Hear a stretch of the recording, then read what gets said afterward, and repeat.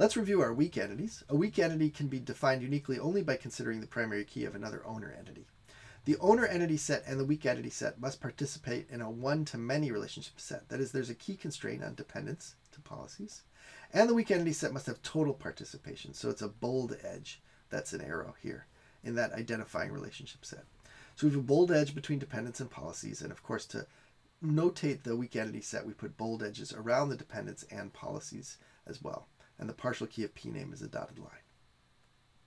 Translating weak entity sets is fairly similar to what we did before, but we have to be a bit careful. The primary key of the weak entity set can't just be a key because weak entities don't have keys. It's the concatenation of the weak entity's partial key with the key of the the entity set on the other side of the identifying relationship.